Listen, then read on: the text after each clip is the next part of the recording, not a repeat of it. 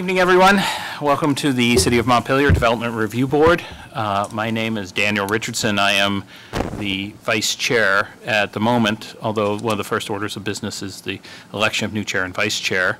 Uh, I'm going to have the members introduce themselves, just going around from the right corner stating your name.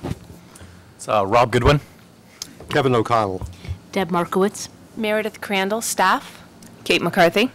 Tom Kester. Ryan Kane.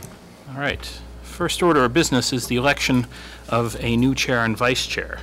Um, We have several new members of the board. Uh, Under the new procedures, every August in our first meeting, we will elect a new uh, chair and vice chair. And so uh, I will take any nominations that wish to be made for chair. We can start with chair first. I'd like to nominate Dan Richardson as chair. Second. Okay, nomination by Ryan, second by Kevin. Uh, Any other nominations for chair? Hearing none, uh, all those in favor of the election of Dan Richardson as chair, please raise your right hand, say aye. Aye. Any opposed? Good. Well, that brings us to the, take a breather here. Uh, That brings us to the uh, election of a new vice chair. Uh, I'll take nominations for the vice chair. I would nominate Kate McCarthy. Uh, Nomination for Kate, do I have a second? I'll second that. Okay, Kate has been nominated and second. Do I have any other nominations for vice chair? Hearing none, all those in favor of uh, Kate McCarthy as vice chair, please raise your right hand. Any opposed? We have a new vice chair. Congratulations. Thank you. Thank you all. And uh, so let's start, and I'll have some comments from the chair addressing our new members in a moment. Uh, The first item of uh, business is approval of the agenda, and this is the way we start out every meeting under the new rules for public meetings. Uh, The first item of business is to either approve the agenda as printed or to add additional business if such is warranted. So I will take a motion to either amend the agenda or to accept it as printed. Mr. Chair, I move that we accept the agenda as printed. Okay, motion to accept the agenda as printed. So I'll Do I have second A it. second by Deb. And all those in favor, please raise your right hand. We Have an agenda, moving right along. So, comments from the chair. I want to welcome all the new members to the board. Rob, Deb, Tom, Brian to full status as a board member. Thank you all for uh, agreeing to join the board. Uh, We really look forward to working with you. And uh, I do want to make a note that um, we have several members that um, were not reappointed, uh, Phil Zallinger, Roger Krantz, and Jack Lindley. Uh, And I'd officially like to recognize their service to the board. Uh, I think together, collectively, they represent close to 100 years of zoning experience for the board, and, and that is no exaggeration. Um, I think Roger was an original DRB member. Certainly Phil and Jack date back to uh, early days in zoning in Montpelier. So I want to thank them very much for their service, and uh, I anticipate that we will have further recognition for them uh, in a more formal way. That's all the comments from the chair, and we have one piece of business, which we, I've done the math, we have to approve the minutes of July 16th, and we have just enough people to do so. Myself, Kevin, Kate, and Ryan were all present. Um, Do I have a motion to approve the July 16th, 2018 minutes? I'll move that we approve the minutes as drafted. Okay, motion by Ryan, second? Second. Second by Kevin. All those eligible to vote uh, and in favor of adopting the motion for the minutes of July 16th, please raise your right hand. The minutes have been adopted. Okay, the first item of business is 27 School Street. This is uh, Key Turner Properties LLC. The representatives would come forward to the table.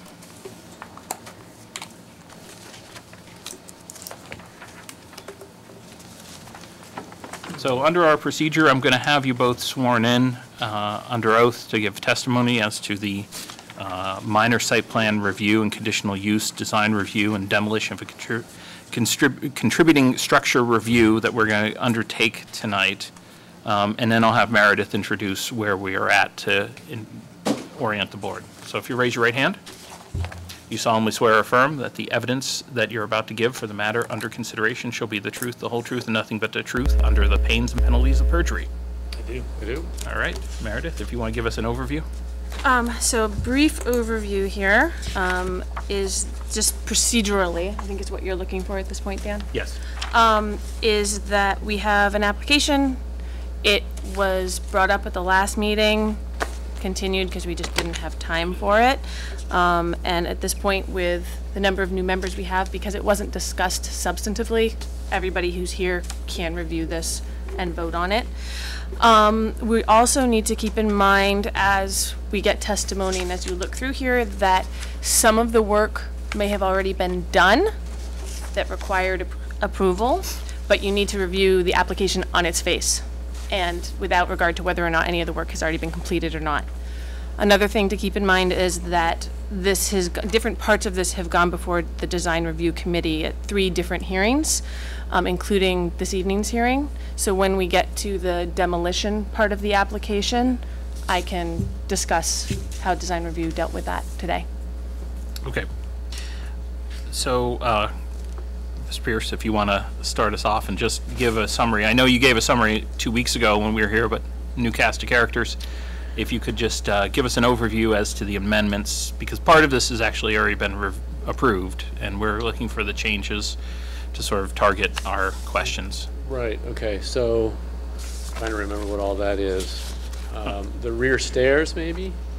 Is that on the, Well, I mean, what, uh, no, we, we didn't approve anything two weeks ago. What I'm looking for is just sort of the changes that you're seeking now to the, didn't they, haven't they gone before? No, Oh, they haven't come before the design review board. That's what I'm saying, is they came before the design, design review committee. They haven't been here. They haven't been here. No, Okay. they have not been at the, at the development review board.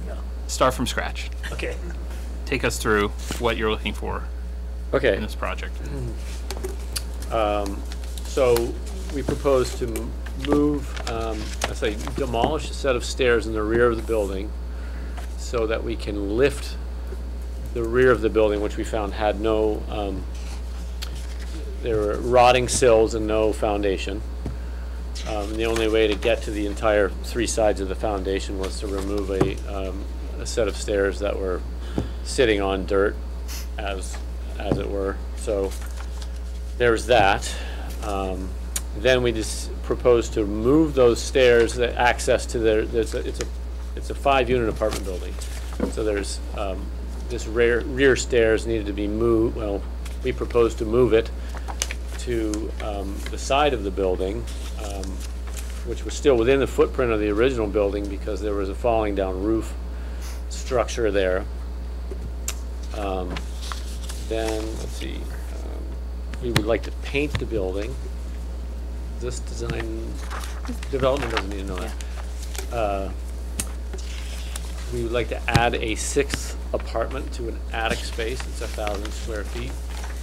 Um, And when doing that, we're going to add, we need to add a, a secondary egress for the, um, for the attic space, which we would like to bring a, um, bring a spiral staircase down to land on the proposed new stairway, uh, which Chris Lumbra has approved as a, as far as the building and, uh, exit for fire code.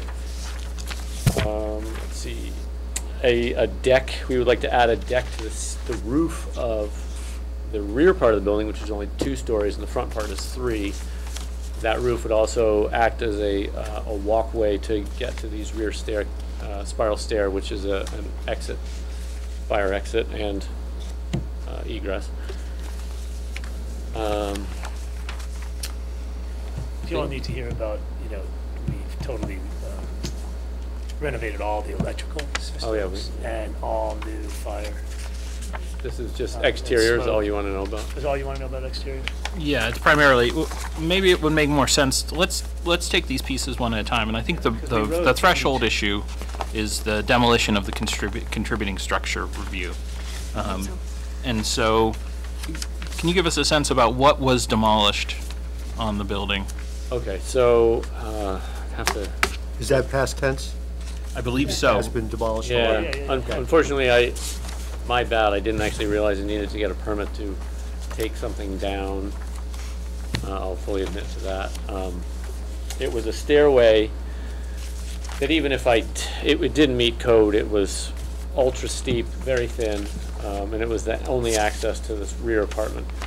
Um, It was, I want to say about, Five by eighteen. yeah, four, four or five feet from the wall to wall, with the staircase in between, uh, four by four walls. It was built with, uh, four by four, um, well, miscellaneous, miscellaneous pieces of lumber. Uh, it was kind of thrown together. It was definitely not a, not a very well-made structure. It had homosote on the outside, so when I went to buy the building, walked up to view it, there was ice completely covering the inside wall, and this was their entrance to their apartment, so there was no real sheathing on the outside, it was literally homosote, uh, like white unpainted, sort of rotting Basically paper board. drywall. So, Uh, And so, and there, there was, so what came off was just a four-foot section that's not historic of the rear of the building. What it got replaced with was a pair of pressure-treated stairs on the outside that met code, that were much wider, that were at the right angle, that were safer, that had metal grates. So it was actually attached to the, to the building that you... No, requi- actually, it wasn't actually attached. It was, I mean, it was, it was tapped onto the building, but it wasn't part of the. He was in very original. close proximity. Yeah, yeah. Yeah, y- it was siding from the original building on the inside of the stairway, so it was tapped on with nails. But the, the stairway itself sat outside of the, the building. Well, it was, a- the roof Yes. line, yeah, but the stairway it did, it actually was exterior to the building, because it was siding on the inside. Then they put up this whole sheathing wall, and then they would. So I'm, It was an enclosed staircase, though. It was an enclosed, yep. staircase. Yeah. and so I'm looking at this, this photo, it's a little bit blurry, Yeah. that was included in the packet, that looks like it's actually taken from State Street, East Yeah, State East Street. State Street, yep. And so it shows the rear of the building, Ah. and is it this facade on the back, that's where the staircase was? Yep, yep. And so there was, there was cladding on the outside of the staircase. The staircase ran against the actual back of the existing building. Backside of the building, yeah. So, so really, all you've taken off is the very sort of end of Yeah. the building. Yeah. It was about five by, I'd say 15, five, five feet off the building, about 15 feet of the backside. of And the the reason why this came up is that Meredith was asking us about impervious surfaces. I said, actually, we've created more permeable surface because we had taken, then we got, then all this came up, literally because she asked a question about that. It had never even come up before because it was like one, we, we replaced an exterior staircase for an exterior staircase, but we did it within code and we placed a better staircase than the existing.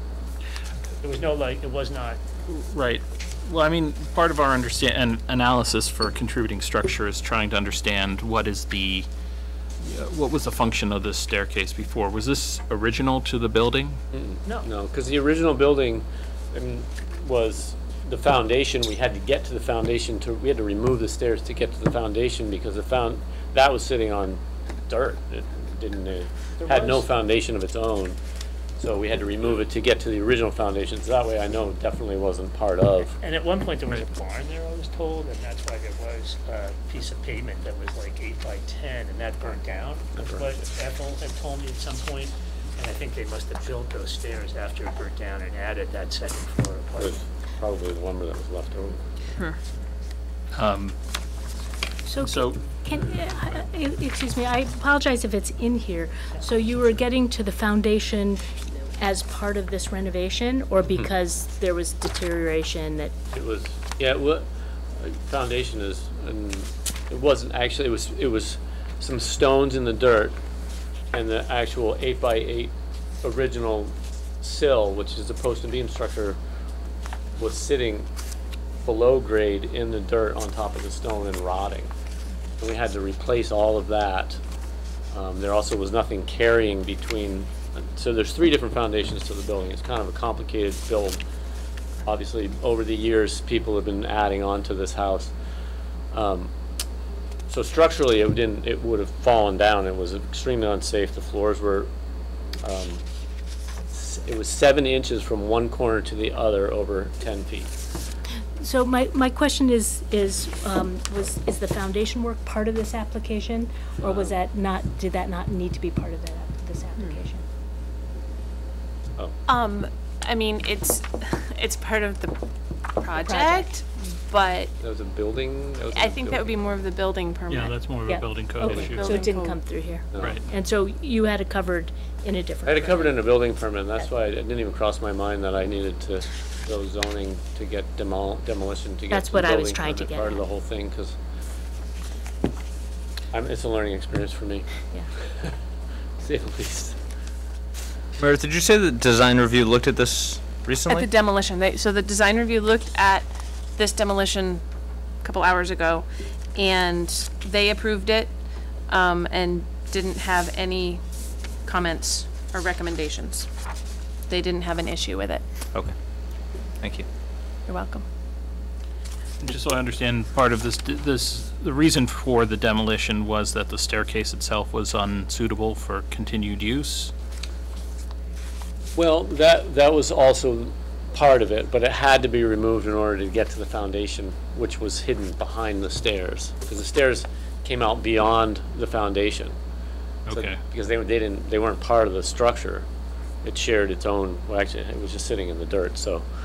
In order to jack, because we actually had to jack the building up and dig out all the way around it down five feet to put, it didn't have a foundation uh, except for the stone. So we had to remove the stairs.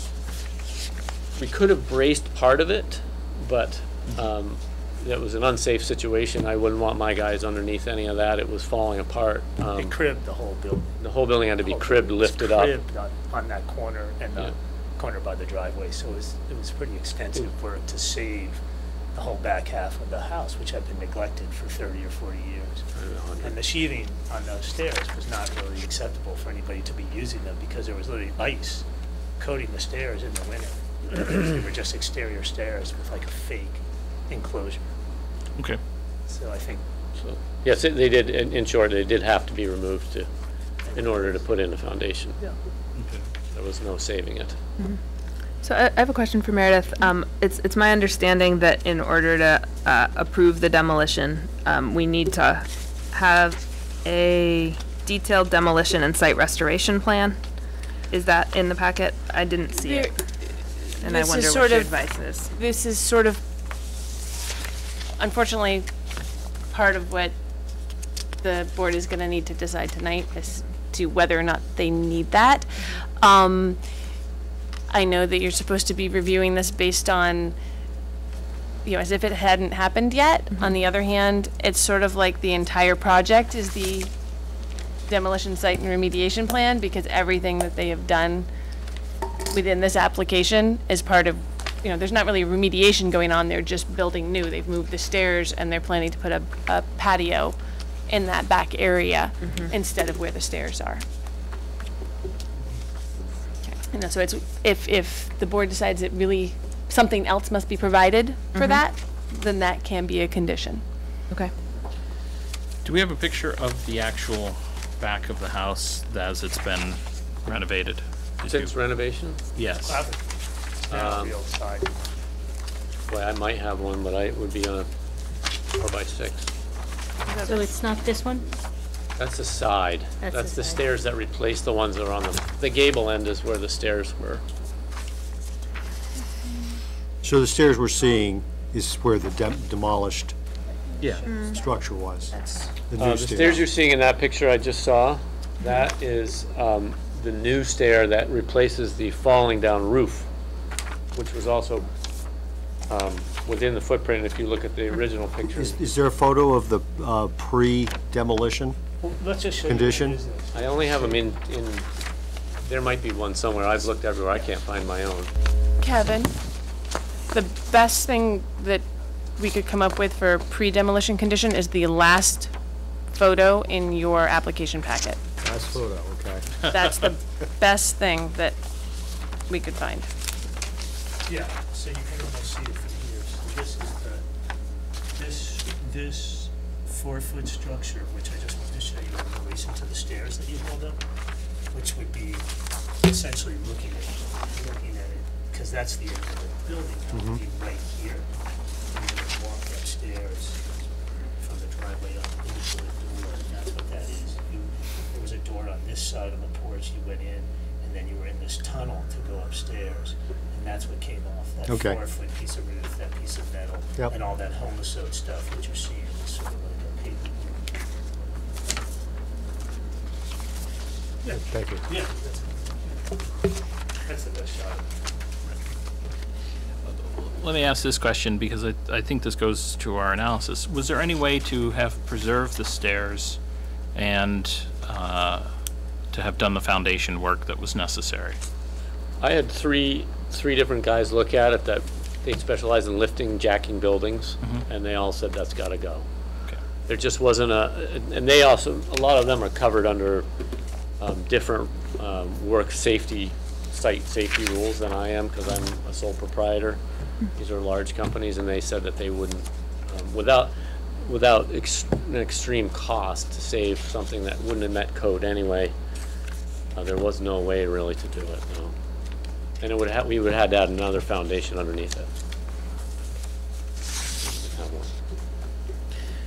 Any other questions about the uh, demolition of this staircase structure? And that's the only demolition that was done, is that correct? That's it, other than gutting the interior of the building. Right, which isn't under, We can start getting into this. That doesn't matter. let's not open up that. I, I, I appreciate Meredith's point that the materials are a site restoration plan by virtue of what you're doing, and um, I don't think that it affects my decision one way or another, whatever, whatever I ultimately decide, but um, having those things kind of with an arrow pointing to them in the future uh, is, is a helpful thing. Uh, That, the, just to check the box on our review to make sure that we have the specific thing that is requested, like labeled as a demolition plan or labeled as a, you know, Gotcha. the, the more information, the better, especially when we're trying to weigh something in this way. So, like, like you said, we're, living we're living and learning, so I mean, that would be helpful.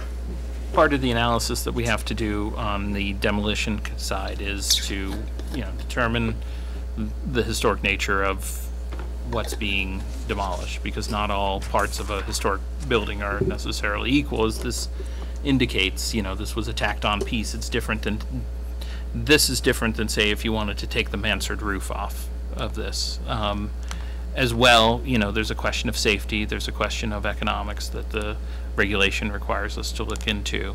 Um, and so oftentimes, when we're dealing with the demolition, it's, it's good to know exactly what has been removed, what it looks like, you know, in this case, what it looks like now is helpful, um, as well as, uh, the idea of, you know, the purpose for this removal and how it meets, how it meets the ordinance, because Mr. Chair, I would just add to that, it would also be helpful to see a, uh, a plan before demolition, I think as the ordinance requires. Right. I mean- I mean, this is, and I think we have to take a, a, a close scrutiny of this only because this is exactly a type of situation that the ordinance is meant to avoid, which Right. is the post hoc justification for a demolition of a contributing historic structure. Um, I don't think, it is it historic, though? My understanding is is. the front of the building is, but the rear of the building is not. And we could go there, I mean. We don't, we don't, It was I- built, I think, in the seventies or eighties, those stairs, so. Is that historic? I don't know, I'm asking you, I don't know. Well, that's, I mean, when a building's a contributing structure, it, it falls upon the applicant to prove with some degree of, other than, I heard, that it was built in the seventies, to, um, to show that it was, it, it's not a- either not a contributing or not an important contributing factor in this. I mean, in, in some respects, we're looking at the National um, uh, Register of Historic Places that, that makes these, that puts these structures onto this list uh, of contributing s- structures. I mean, you know, it'd be one thing if somebody built on an addition in the 90s and you could show that it was built in the 90s, that it was never, you know, part of the original historic structure. I think that's a different thing than, um, you know, suggesting that because it's shoddy or because it's may not be. No, no, no, but Kate, Kate told us when we went for historic uh, tax credits, she said the back of the building is not historic. I'm just Okay. telling you the information that I have Okay. from our applying with Kate at the store. me. You know, she said the front is, the back isn't. We don't care about the So back this is- at all. this is the It's only what state. faces the street, and it's only the part with the mansard roof. Yes, Okay. not me. Not- Different Kate, Different Caitlin, right? Yeah, Yeah. yeah. She was at the building. She came and visited the site, Caitlin Cork- Corkins, Corcoran. Corkins. So- Yeah, So that's the information we had, just, you know. I'd recommend to the board that we, we move on to the next issue um, and not take a vote on any of these until we've sort of ta- taken a look at the entire proposal as a whole. Um, So the next piece, and and Meredith, you can walk us through uh, the conditional use. Uh, I'm sorry, let's do the design review elements. Are there any other design review elements other than the um, demolition features? This would be because of the changes to the staircase and the proposed deck. Yep. Windows, Windows or landscaping, is that included? Yep, so hold on one second. part of the site plan. So there were the changes of the windows. Just gotta find my right form here. Um, that the design review committee reviewed at their first hearing.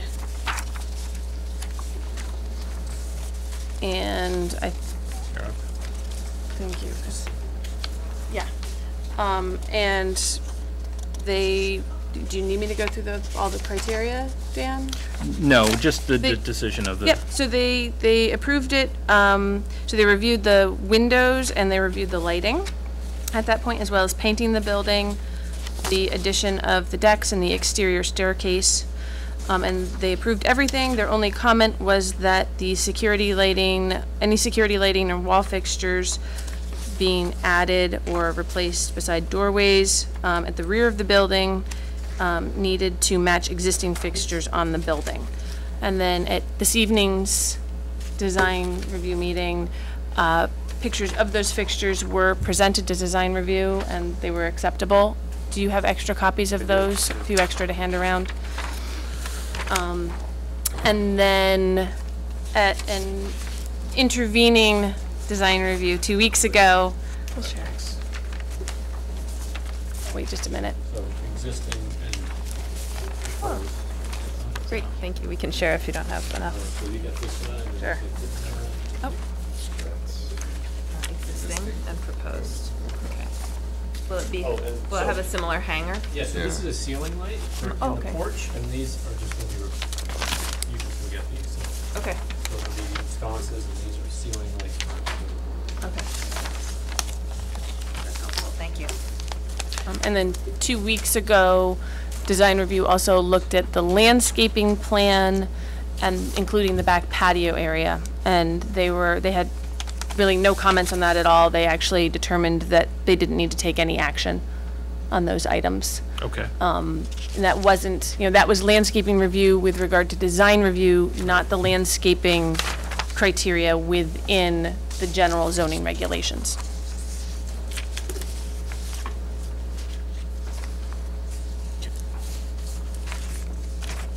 Okay. Uh, Are there any questions about the design review? Uh, Just traditionally, that tends to be, we we defer to the design review committee in their findings unless there's a reason. However, we're not bound by them. If there's questions that anyone has as to any of those features, um, you're welcome to make those. Hearing none, let's move along to the conditional use review portion. Um, Meredith, you want to introduce that? Um, so the conditional use at this point, um, what we're talking about is the change from a five-unit dwelling to a six-unit dwelling, uh, both of which are conditional uses within this district. Um, and what we're dealing with here is a increased intensity of the use. So we're going to six units. Um, and if you look on page twenty-two of your staff report, that's where that analysis begins. And you need to, dur- during my review and your review, uh, we look at the capacity of the various community facilities and utilities for the increased intensity of use, impacts on traffic, um, potential impacts on the character of the neighborhood, um, and making sure that this increased use fits with that neighborhood, which includes various items, including, you know, architecture, yards, landscaping, and that would be the major points. Okay, So let's, uh, we have your application for a conditional use review, but Chris and Wynn, if you could uh, maybe walk us through Uh, What type, this is a one-bedroom apartment that you're proposing to add on? What are the other bedrooms in, in the building? Are- another, uh, one bedroom, and then there are, uh, four others, uh, four two bedrooms. Right, four two bed, four two bedroom. Four two bedrooms, there's a one bedroom, and then we'd add a one bedroom. Okay. And uh, the first question is the capacity of the community facilities and utilities. So you have to demonstrate that the proposed development will not cause a disproportionate or unreasonable burden on the city's ability to provide community facilities and utilities, um, including local schools, police, fire protection and ambulance services, street infrastructure and maintenance, park and recreation facilities, um, and water, sewage disposal, and stormwater systems and infrastructure. Let me start with the last one first. Is this on city water and sewer? Yes, it is. Okay, And th- will this additional bedroom make any change to that um, city uh, utility hookup?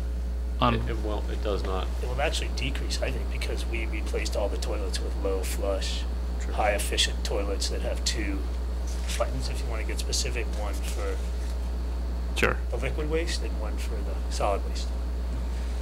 In every element of the building, we've uh, replaced energy, we've, you know, spray foamed the sills and spray foamed the building. Everything's much more efficient now. So in terms of just efficiency and in And all general. new, all new shower fixtures, all new, every appliance is new, so they're all now required to be low flow, which before there was lead pipes and everything was, uh, Yeah. high flow. Just to answer your question, Okay. I'm gonna guess there'll be a negative impact in terms of Yes. water and And use. and Meredith, did they re- meet with the technical review committee on this?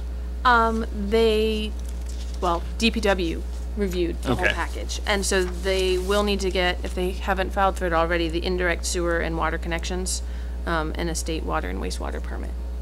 Okay. Yeah, That, the state permit is being worked on right now. And so as a single-bedroom house, uh, I mean, sorry, single-bedroom apartment, um, your testimony is you don't believe any of the other uh, community facilities would be affected, local schools, parks? It's just one more, Positively, if any, by adding another few people to town, the tax base.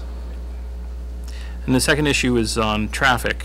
uh, And the applicant has to demonstrate that the volume and timing of traffic generated proposal will not be substantially greater than what would normally occur at nearby uses, that the traffic generated by the proposed development will not unreasonably disproportionately contribute to a reduced level of service for the affected streets and intersections, and that uh, reasonable measures have been taken to minimize or mitigate the account, uh, the amount of uh, vehicular traffic. So if you could just discuss what you think the impacts of the traffic are to this?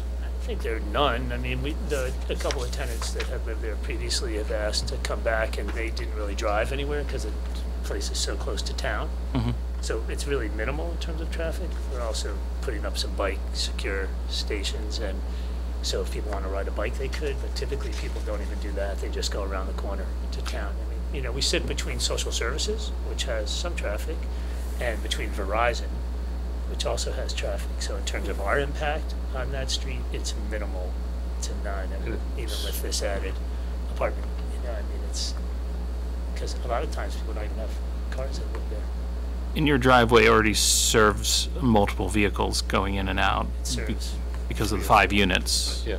Uh, It's large enough, if you do the math, we did the measurements, it's large enough to accommodate a new tenant, a new car, was it 55 by 30 maybe? I I don't remember exactly, but um, within the, the- the codes that are set by t- the town for parking, we can s- put another car in there without doing any work to the current parking, so. The third item is character of the neighborhood, and that just seeks to be compatible with enhance the neighborhood character. Uh, Proposed development must be located, designed in accordance with the following: architectural compatibility, uh, yard lot coverage and landscaping, lighting and noise. So let's take each one. So the architectural compatibility, you're not really changing the footprint of the building other than what we talked about with the demolition of the the staircase, is that correct? That's correct, yeah. Um, And so is this, what is this space? This is, this was unused space within the apartment, or is it a Yeah, in fact, that's why I fell reconfiguration? in love with the building in the first place. The attic is just incredible. Yeah, Right, it's an attic. It's an attic, but it's a tall one and it's just beautiful. I mean, it's a beautiful space. You could see it as a dance studio or something. I mean, it would have been too hard to do a commercial space up there, but it, it was gorgeous, and it is gorgeous. If you could describe for the second element about the yard and lot coverage and landscaping, just give a brief, sort of what is on the ground there now, and what are you proposing? It's minimal. There's like one. Uh, there's tree one maybe. large maple tree out front, um, and uh, Dutchman's pipe growing up the side, which is perennial. Um, There's no, there's no evergreens, and there's a large fence around the back, that, the rest of it is just grass and dirt. So, we would augment the building by adding the proper, or, I guess it's the new, the new rules for, um, Shrubs. and- shrubs and, yeah. So we would So- put some rhododendron shrubs, we'd have some lilac shrubs uh, in the front, and then the back, there'll be a patio uh, with a stone wall from um, slate that we dug up on Yeah, the a lot. stones that we dug up on the property. It'd just be a lot nicer. And um, will it meet the five feet per shrub? Um, No, we didn't apply to meet that, I'm telling you that now, Well, we because A, can- the shrubs are bigger than five feet, so to have five feet per shrub, you can't really plant uh, a We can, lilac. we can talk about that when we get to that, that particular one. I, anyhow, but I'm really. just letting you know that that seems to do. Right, but we have to take affirmative testimony on, you know, what, what you're proposing and what Yeah. you're, what Yeah, you're there's a changing. plan. And, the- and the patio deck area, is that open, gonna be open to all tenants, or is that gonna be just? Yeah, no, Okay. that's open to all tenants, absolutely. Okay, and then the light and noise, you, are you adding any additional light? Yes, we're gonna Fixtures? add, um, one light, uh, will be added upstairs to, uh, to the third proposed apartment, uh, the, sorry, the sixth proposed apartment on the third floor, uh, on the deck, and that would be one of those sconces that I, I showed there. Um, so that's, that, then the deck, where, the main entrance to the building on, that's on School Street, will re- replace a, a- an old I don't know where they got it, um, fixture with the ceiling fixtures to match the rest of the building. Um, Sorry, the second floor door, there's the second floor door, well, the second floor door will add a sconce as well. that. Um, and, um, there's a security, um, security light around the back over the patio, which is, uh, actually was already there, we're just moving it around the corner. So in terms of ambient lighting, you know, social services had an incredible light. You really don't need our lights, honestly, because that building is a federal building and it has unbelievable lighting. And then the parking lot in the back, there's a parking lot that we're sort of adjacent to as well. It's a large parking lot. City center. Yeah. The city center. Yeah. Yeah, There's actually quite a bit of ambient light that you don't There's a lot need of much ambient light from there too. So I just want to be clear on the record that we're not going to affect any of the lighting in the You- area. you won't If become anything, the new gonna- beacon downtown? No. that? You won't become the new beacon downtown. No, we won't. No. Okay. Does anyone have any questions about the character of the neighborhood? Uh, I have one question. yeah, go ahead, Rob. So the um, patio area in the rear, that is a common area. Yeah. But the deck on the roof, that is going to be Just for the, the third, the. Just for the sixth it's a apartment. small deck. It's- Right, right, right. Although everybody probably would want to go up there. Well, I mean, are you gonna take steps to, to prevent people from going Yeah, up there? there's a or- spiral staircase. The spiral. I mean, okay. they have It'd to it'd be access obvious that it is the other tenant. It's there, yeah. But that's the place for Fourth of July firework viewing. Right. And New Year's. I- And New Year's, Well, that- yeah. Okay, let's, uh, let's talk about the performance standards. There's, uh, about eight performance standards. Uh, We'll just go through the noise. You're proposing basically one more residential apartment. Do you estimate there to be any additional noise created as a result of this, uh, that would be appreciable outside the building?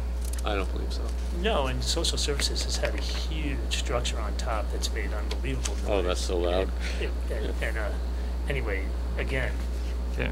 you know, noise difference. I Is think, that, is that since they completed the renovations? That's been helpful.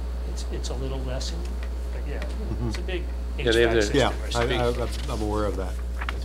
So did they replace, I'm, I'm sorry. I No, no, go ahead. paused No, For a no, I second, but this did is replace it, interesting. but it was really noticeable before Yeah, it was. It It was really loud. I think it's, it's- it seems. though It's have loud, to when go I'm by there, the it's loud all the time, and I, I'm, we're, I have earplugs in, so. Okay. Couldn't tell you that. Yeah. But anyhow, this apartment will not affect any any outside noise. No, it's, a- I think glare, odor, and vibrations we can tackle as one. Those, y- because you're not proposing any new um, structure outside of the building, it's, it's basically going to have its same uh, impact outside. We're talking about another residential structure, so there's not any new odors created, and there's no vibration. Okay. Electrical or radio interference, I would say no. okay? Excuse me, Dan, Yes. we're bouncing around a little. Could you um, reference the page number? in Oh, the- sure, it's just on the back of the. Okay, you're looking at the application Yes. itself, not the staff report. Okay, thank you. Can I interject just one second? Yep. So for these performance standards, these are no longer listed individually within the regulations as required things for the board to consider, but they're on here because you may consider performance standards. And so in case something really big were to come up, this is a way to elicit that information from the applicants. Right. Okay. Just making sure everybody was clear on that point. That's helpful. They're just the normal uh, issues that we often go through, and I think Yeah. it's, they're worth at least listing, okay. Agreed. So, well, though, I mean, probably not applicable electrical or radio interference. Um, uh, Waste storage, where is the trash to be stored and recycling? So You know, kind of, like, we were just gonna use the Casella, um, Yeah. large cans. That's what's been there since before, and, uh, we proposed off, we thought about a dumpster, but it- that would be, I think, too high impact. With a truck coming in and out of there didn't make a lot of sense, so. The way they do it now, is they actually pull into, the Casella truck pulls into, um, Verizon. the Verizon parking lot, and they just walk over, grab them, put them in the back of the truck. They're on the backside, they're facing Verizon, is where they've always been. It's just the way they've always done it. Remain. Or they've done it since They're we, just cans. Will you be increasing the number of cans as a Well, result for of this recycling, apartment? we probably will, it just depends, I mean, we'll measure it, and the guy from Casella is pretty good at letting us know what we need, so we trust his advice. And is- There are- might be two instead of one, you know, two. as needed, I would say. Yeah.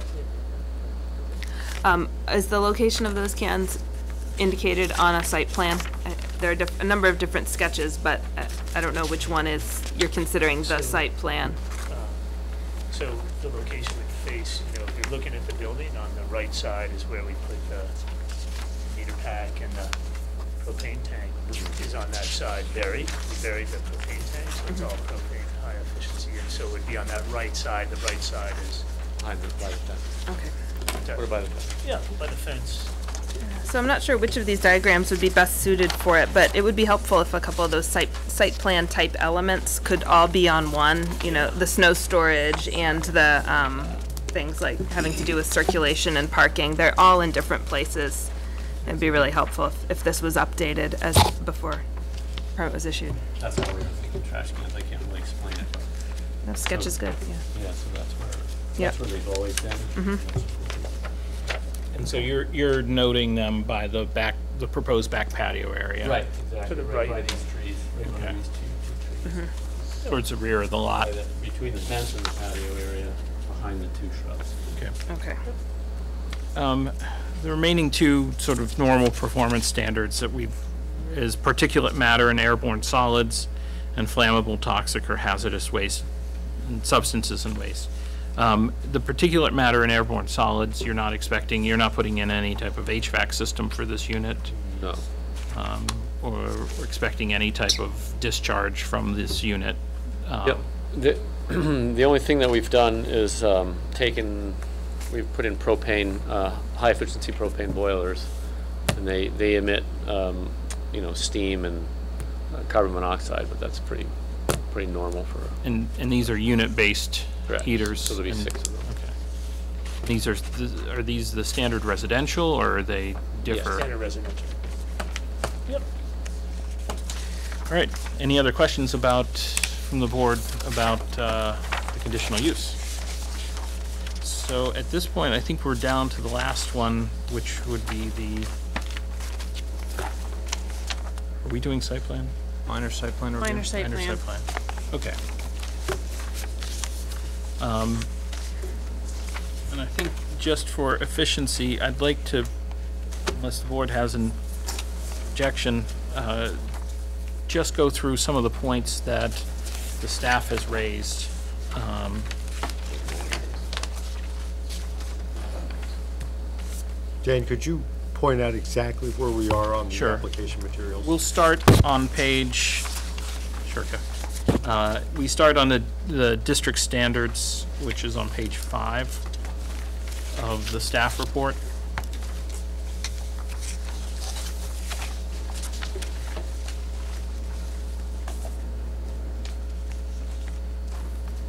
And a lot of these aren't necessarily, um, controversial or uh, raise issues. So it just goes through the various standards that we, we're talking about multifamily, five-plus units, which it already is. We're, um, And the dimensional standards, which are not triggered by um, this project. We're not talking a setback issue. Um, The use standards, we've gone through with the conditional use. And we've discussed the demolition. This is in part why it was helpful to you do this overall uh, at the end. Um, And then uh, wetlands and vernal pools, riparian areas are not triggered. So uh, we do talk about erosion control practices, and one of the staff questions that was raised is um, about the construction of the patio and whether erosion control practices are being used in that, and would you accept a condition on that? So let me unpack that one at a time. What, how is the patio being constructed? Is it stone or is it? So we're gonna use, um, there's, we retrieved a lot of, um, stone from the old foundation when we, we actually put in a a propane tank, buried a propane tank. We're removing one from the side of the building and burying it. And when we did that, we found a lot of old stone, so we're gonna use that to build the wall. And then the flat ones, there's a lot of flat, flat pieces. Those will be used, uh, as the patio, which will be on a permeable surface, which was, um, a uh, impermeable piece of uh, pavement that was, I guess, a parking space at some point in its life. Um, So we'll be replacing, we've taken, the pavement's already been removed, um, and then it's just sandy, actually very drainable surface, uh, very drainable area. So I, I think we'd impact it positively, not negatively. in it. What, are- what are the dimensions of the patio?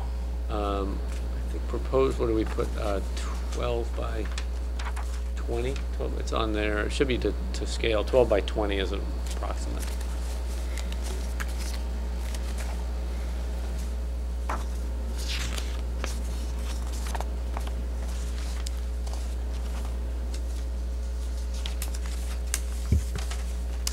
So 240 square feet or so? Sounds all right.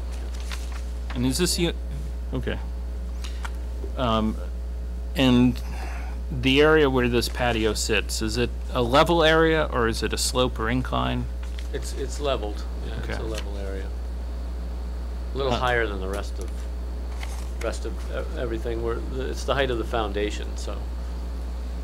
So, under section, section 3008, mm, talks about erosion control, and this applies to any land development that disturbs soils, which is what you're proposing to do. And it says that all projects that will disturb soil, um, disturb approximately 600 square feet of um, so it applies if it, if, um, the project will disturb, sorry, let me take a step back. You said 240 square feet. Yeah, I don't think it does what you just said, but I'm gonna do the math right now for it. Well, I think based on, We based talked on the, what you had given me for dimensions before, Yeah. I think in our emails, I came out to, uh, three hundred and seventy-five square foot patio, and then it's surrounded by a stone wall. And, yeah, there is a typo in here about the six hundred square feet of soil being disturbed, but, Might be four hundred or Yeah. something with the stone wall, but probably Okay. not even that, because the stone wall is almost gonna be. either way, it's less than ten Way less thousand than square Right. feet. um, regulations call for a professionally prepared erosion control plan. um, Mainly so that as you're building this, that there's, one, construction doesn't cause erosion itself, And given that you're putting it right next to your new foundation, I presume that's something you want to take care of as well.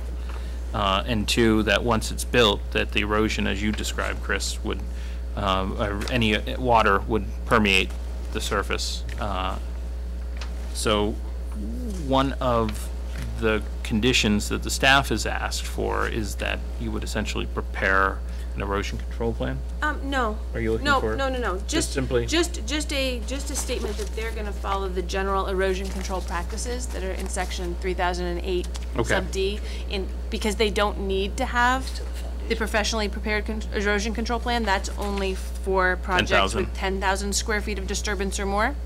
Okay, So so there's a- because we don't need to require that, the request is that in the, the permit, if approved, we just require that they follow the general erosion co- control practices in section three thousand and eight, Okay. sub D. That's all. We accept that condition. Sorry, we were talking. What That's was- okay. Well, uh, Meredith was clarifying that it's actually not required for projects under 10,000 square feet of disturbance. Um, We're just simply asking if you would be amenable to a condition that would require you to follow the erosion control practices under the regulations. Absolutely. Yeah. Yeah. Any other questions? All right. um, So again, the stormwater management, because they're storm sewers, are there any new s- storm sewers being put in to this site? Because you're not changing the driveway. No. No. um, Access and circulation, you're not changing the curb cut or um,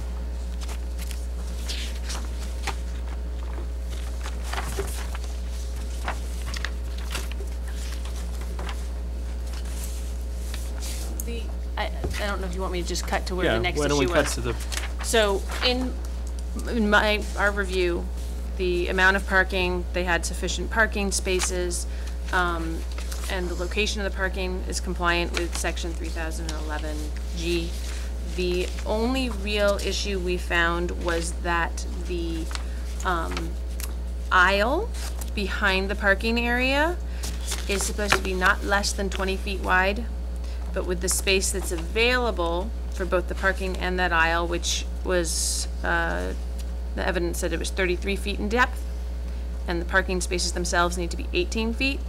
So that means the aisle behind is only fifteen feet wide. Um, now, this is a, you know, prior nonconformity. It's been in use. They're not making any changes. So really, it doesn't need to be updated, but it's something to call out for you that it is a nonconformity. Um, and, you know, Department of Public Works didn't feel like it needed to be updated, but if you felt like it should be for some additional factor, you could. So it sounds like we are not exacerbating the nonconformity by making that narrower than it already is with the addition of the sixth parking spot. Correct. So It's the function will be quite comparable to what it is today. Exactly. Okay. Is that an accurate statement? That's accurate. Okay.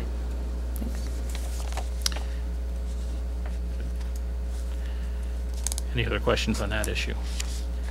Uh, Then the next issue is about the uh, parking itself. The Director of Public Works indicated a strong preference for a fully detailed and scaled parking site plan, including the property line. And I think this goes to uh, Kate's earlier point about showing where snow removal is, showing where the specific parking spaces for each car are to be, um, at least in the plan that's been given right now, while the, I think the math has been done such that we can see that six cars will fit here.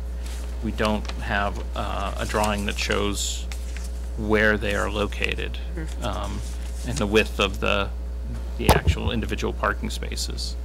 And that would be very helpful for me to have all on one piece of paper. It would have been very helpful for reviewing the application to see how it all fits together, including the circulation.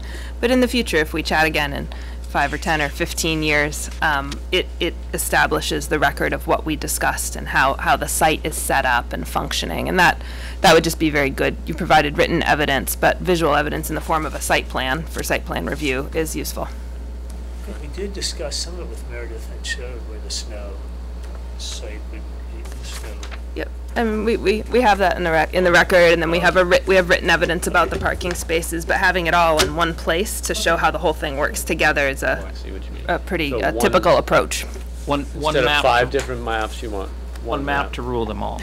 um, So I that we wasn't can gonna put it see that where the way. parking spaces are, where the snow storage is, because part of this is if you come back and want to do something different, yeah, then we have a starting point. sure. And I think, you know, while, at least for myself, it, you know, I think you meet this, the, the standard, it's gonna be important later on down the road, so you don't have to recreate that work and pull in from the disparate elements. Yeah. So when they're all just put together, that's what we call the site plan, and it ends up being very useful. So that'd be great as a, I don't know if we do that as a condition or a, Uh, you, you, for, you mean before the permit is issued, to request that at the end? Yeah, you can totally do that as a condition to make sure everything is pulled together on one site plan, um, including the garbage, the landscaping, Okay. all of that could be a condition on the permit. I was just peeking through the zoning. I'm not sure that we can request the location of the garbage. I don't know that it fits in. Um, So I it won't. It might be under conditional use since you're asking about waste storage. Yeah. Thank you. I mean, Wrong we're happy to section. put it in there, so. Thanks. I mean, whether it you meets did a or good- you not, did a if good job something here, interested in, We'd like to have it there for I, you. I Well, I- am interested. Thank you. I support Kate's recommendation. I, I thi- I, do- I mean, the hardest part that I'm having with your application is the fact that we're looking all over the place here. It's just kind of like a shuffling a deck of cards and trying to find a, you know, I, I- I Thank think it's you. also important too, because, you know, if you think from a practical point of view, what happens to this application and permit is it goes into a file downstairs in the zoning and planning department, and you or your successor in title is gonna come back again at some point. And having that single map then makes it easy. Uh, so I think it's, it, it's in everyone's benefit, and then that way we know exactly what we're approving as a, and then make sure that when Meredith issues the permit, that it's consistent with what we approve. So we, I mean, in essence, when we draw that, we give it to Meredith, she makes copies for the board, and then No, it would just go into the file. just, a- As, as long as when you bring it to me, I can judge that it has included all the the disparate elements, elements okay. and pulled in and any other conditions that might come out of this meeting, yeah, um, then I will include it in the permit. gotcha, got it. So the next, the next issue, and it's really the last uh, big issue, is about the landscaping. Um, and so part of this is the regulation 3203G requires one shrub for every five feet of building perimeter and one tree for every 30 feet of exterior, principal building exterior. So my understanding is that the landscape plan that you're proposing is less than, than that. Um, and you were starting to explain earlier We why. Did it to the design review, did design review? Design review did it for, uh, for design review purposes, but this is different. Correct. And this is what Meredith was alluding to earlier, which Yeah. is that we, we need to understand, we have the authority to, to lessen some of those requirements, but there has to be a record of why such a thing. So I mean, essentially, you're, you're saying, one, I think it'd be helpful to give us a lands, your landscape plan, to describe it. And then, to the extent that it deviates from the, the standard that I just articulated, Yeah. why? Go ahead. No, you do. Um, is it, so, I guess if I want, I, it's not a plant every five feet. It's a plant for every five feet of the building. So we could put four, four shrubs in one space and that would be considered for twenty feet of building. So in doing that, we haven't actually figured out exactly where everything would go. Um, we want to screen, um, the Fairpoint Communications building from the tenants, because it's probably one of the uglier buildings in town. Um, But have to, you know, I'm not a professional landscaper, I don't know Vermont trees very well. Meredith gave me a, um, a little cheat sheet to figure that out, but we're still kind of going through all of that. I'd Like to meet as much as we can, as close as we can, but, um, it's also financially, it's pretty difficult to plant and pay for that amount of shrubbery for this size of a building. Um, Well, there was really no landscaping. Really, there was the last none, 40 right? years Between those two, but it doesn't mean that we're not gonna have any. We planted some lilacs and some shrubs. Um, we drew them out, I think, in, a- in the landscape design. So why don't you all look at that? If you don't like it, you can give us suggestions. We'd be happy to Yeah, take them. We'd have to do whatever. And if you, if there's something, Well, it- I mean, it's not our job to, to redesign. so then, don't- so look Um, at what we have. I If you mean- like it, it's, I think it's a far improvement from what was there. Um, a big improvement. And you have, you know, the, the site is between two commercial buildings and there's a parking lot in the back. Um, we really think we've done a lot to maintain a historic building that was gonna fall down. The back half was falling down. And So- so what we're saying is that, you know, that landscape plan is one we can afford. And, and so it will include lilacs and rhododendrons. And, and there will be, and it will, it will not get to probably one every five feet. So, um, uh, just so we have numbers to put on this, uh, understanding from the staff report that we're talking about 247 feet of principal building perimeter. Is that accurate? Well, that just doesn't sound like a lot. Yeah, there's no way, because it was, it's, the front of the building's probably thirty. 30, 60, It's po- I suppose it's possible. It sounds small to me, but Yeah, two forty-seven seems right. It, it, it, is that what it comes out to? wait. Yeah, that's, yeah, it's. I'm sorry. I, I pulled this number from, um, the property card, um, Cool. information as well as the scale of the first floor plan. Right. And, and measuring, Exactly, Yeah, what this it just is, sounds- based Sounds on- small considering how large the building is, but I believe Yeah. it. yeah. If based that- on the if it is, first floor then it plan is. that's in here. So that would require, on the one shrub for every five feet, um, and the, and the one tree for every 30 feet, that would require 50 shrubs and eight trees. Uh, Now, there's an existing maple tree There is. that's, that's not to be disturbed. Is there any, are there any other shrubs or plantings currently? It- No, the only one is that Dutchman's pipe and that's, that grows up the side. I don't know if that's, con- That- that's And more that, and that's like a, a vining perennial? Yeah. Yeah. That goes on the porch. Yes, Yeah, it's a pretty typical Victorian thing. So you're proposing, um, uh, what looks like three lilac plantings at the front? Is that just one lilac plant for each of those plantings, or would they be a clump of That- lilacs? That's what I proposed, yes. One, one One for each? per, yeah. Okay, so, and then it looks like one, two, three, four, five, six, seven, ten, eleven, twelve, thirteen, fourteen, fourteen shrubs along the, uh, side between Fairpoint and, Yep. okay, so, so instead of fifty, you're proposing seventeen shrubs, and instead of eight trees, you're proposing to keep the one large tree. yeah, Technically, so there are some lilacs that could be within the tree range. Mm-hmm. Just, that is a possibility. But Okay. I wonder if I could add a question.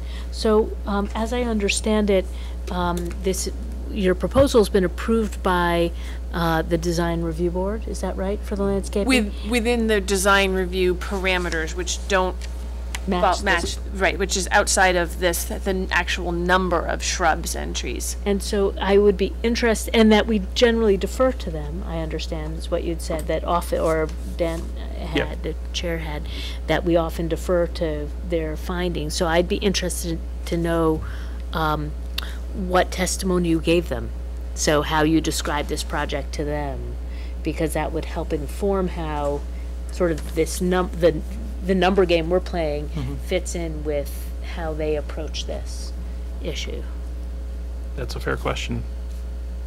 I think we we're telling them what we just said. I don't think there was, there wasn't, it, it was that you're uh, essentially making better what was pretty sparse. Yes. and then, you know, many of the lilacs will grow much bigger than five feet, over time. up to ten, yeah, I mean, and the rhododendrons, I mean, the shrubs on that side will be bigger as well. So, the spacing of those bushes might take up more space than if you tried to put something smaller than five feet.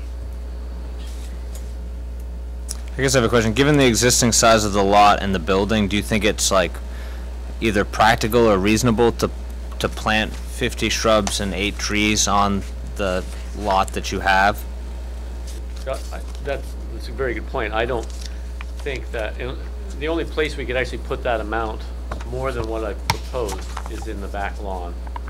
And at that point, I mean, it would be screening to the, the fence that's already existing, but I believe the fence was put in for screening in the first place. I, I don't know unless we're gonna have a tree lot. It Doesn't make a I lot of sense. I'd like to, I'd like to actually pick up on that. Yeah. The fencing along the perimeter, Yeah. so the, the back of your lot, Yeah. there's a fence along it, and it, what type of fence is it? It's a red sort of wire fence. It's a metal fence. It goes up probably six feet, Right. eight feet, and it and it's um, and it's not only on the back, but it's on the sides, all the way up to the two buildings. You know, to where Verizon's building starts, to where the back of our building ends, and also. right, So it's a three-sided fence.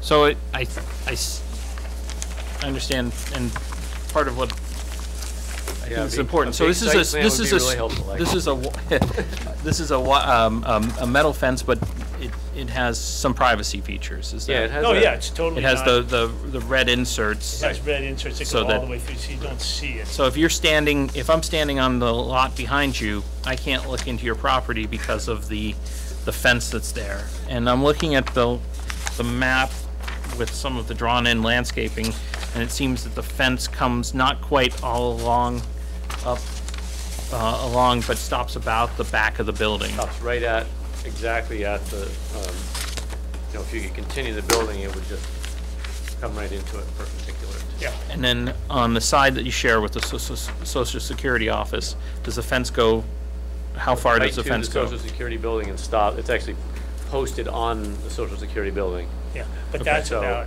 I think that's probably like fifteen or twenty feet from the other, you know, it- it's, it's shorter than the fence on the other But it- side. it does screen, it screens Still both, screens because the building's there. So I think both commercial buildings are screened Yeah. from. one of the points is that at least for screening in the back, because, you know, if you look at, and, and this is, section three two oh three talks about the purpose of these type.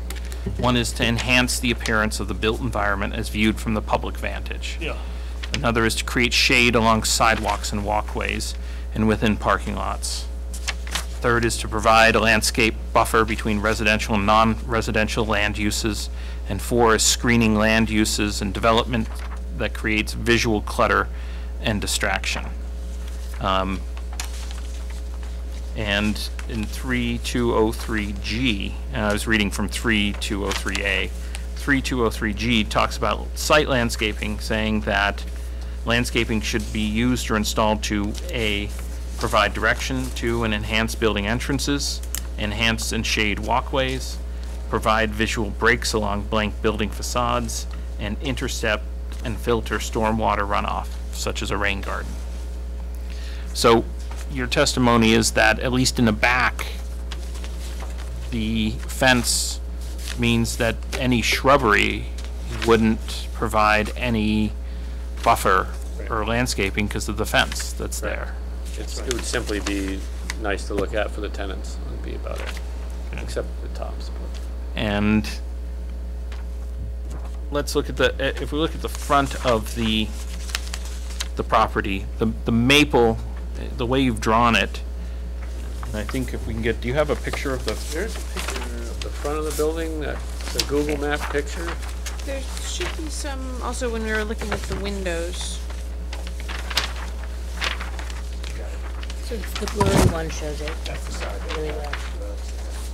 If you look in that top down where you can see it as well, the Google satellite picture shows it. So this one, I don't know if I have the satellite. you want to pass this? Okay, thanks. Okay. So, as the satellite photo shows, this tree is basically in the entire front yard. It's a Yeah. fully mature maple tree. Yeah. Um, and it almost looks, it looks like there's a tree behind it. Is that on your property or is that the Yeah, social that's- security? It's, it's right on the line, it's both, it's on, it's on the property line, actually. Okay. So it, something potentially that is yours, if we want to count that towards us. Could totally, potentially, yeah. Um, half of it. Half a tree. we'll give you full credit. Okay, perfect. Um, I- I mean, I think that's fair to give you because that's, Functionally. um, and then, I mean, I- I'm at least noticing that it would be hard, difficult to put in another shade tree in the front yard. Definitely. And, Might look awkward too to offset that beautiful big tree with some tree that's off to the, s- it would just would unbalanced. But uh, shrubs, s- shorter um, evergreen shrubs would definitely augment the building, make it look nicer and provide screening throughout all seasons. That I fully get. and then along the,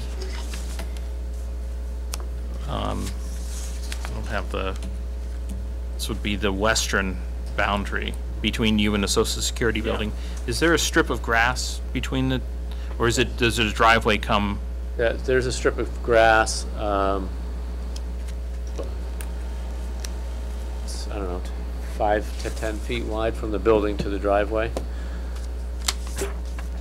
no, no, but I mean on, from the social security, from the boundary that you share with the social security building Oh, to the to, driveway. to your driveway, so going from west to It's a east, small, s- how? Boy, it's, it's maybe three feet. yeah, minimal, but So it's a, so it's a very minimal strip, and that's, Minimal strip okay, that's under your control. Right, because, Oh, we the- found the yes. pin, we, yeah. Yeah, I, I, I- I mean, uh, Essentially, it's under our control. because- well, no, but I'm, I'm trying to also understand, I mean, a three feet small section of grass like that Yeah. would suggest that it's difficult to plant a tree Yes. in that Oh, yeah. you're area not gonna do that. under your control. Um, Plus, I think our plowing driveway. hit it. So,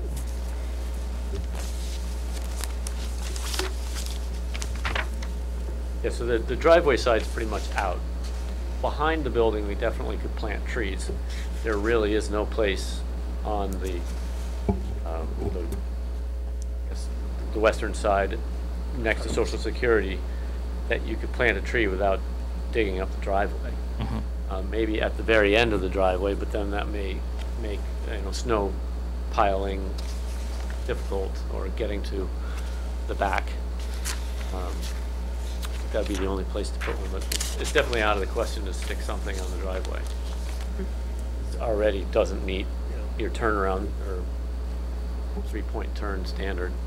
right, Mr. Chair, yeah, we seem to be grappling around all directions, trying to come up with something that meets the criteria for the landscaping aspect of this application. yep.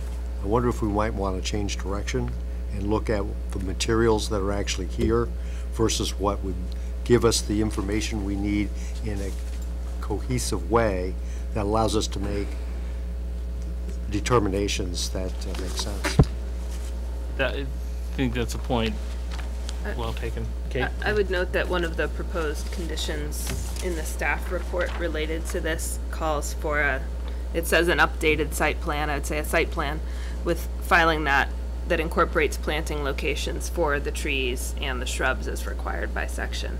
Those numbers are, are what we are talking about, but as far as the precise location of them, I think- this board could consider whether that could be left to just closing out the process. I, I, I think that's, a- that that's a responsibility of the applicant, and we really are stepping outside of our purview when we're trying to fit this in, fit this in ourselves. Right.